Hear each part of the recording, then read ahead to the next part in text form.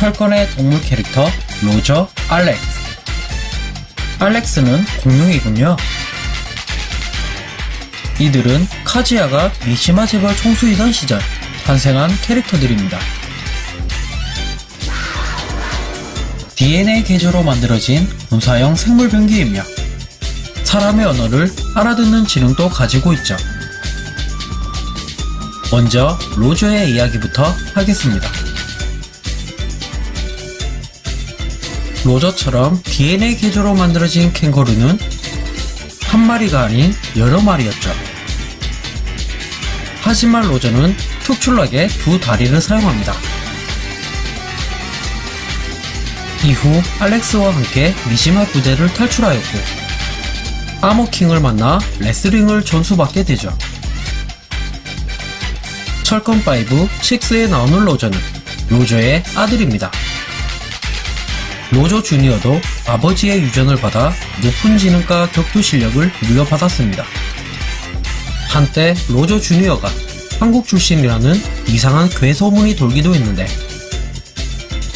철권5 공식 홈페이지에 한국 출신이라 적힌 관리자 오타 실수 때문에 나온 소문이죠. 로저 주니어가 철권에 참가하는 이유는 상금을 받아 가족들과 행복하게 지내기 위해서인데요. 아버지인 초대 로저는 가정을 내팽개치고 있어 아들에게 많이 혼납니다.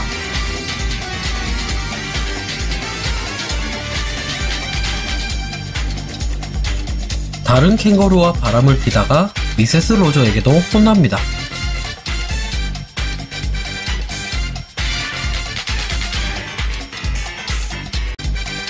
훗날 정신 차린 초대 로저가 가정을 위해 다시 돌아오지만 그의 자리는 알렉스가 채우고 있었습니다.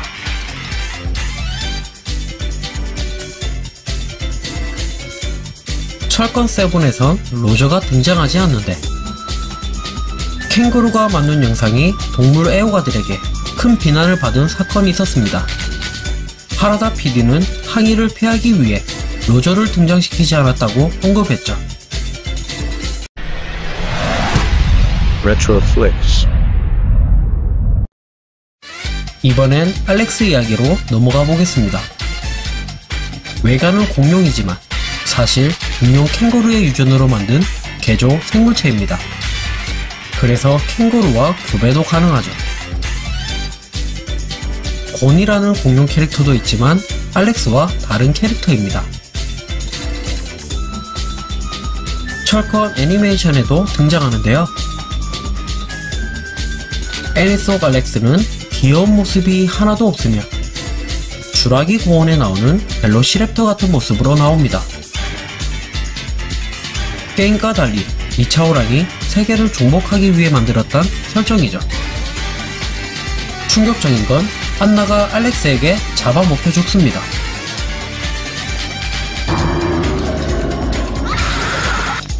철권2 이후 철권 태고에도 등장했으나 성능이 좋지 않아 셀렉률도 적었으며 로저보다 인기 없는 캐릭터가 되었습니다.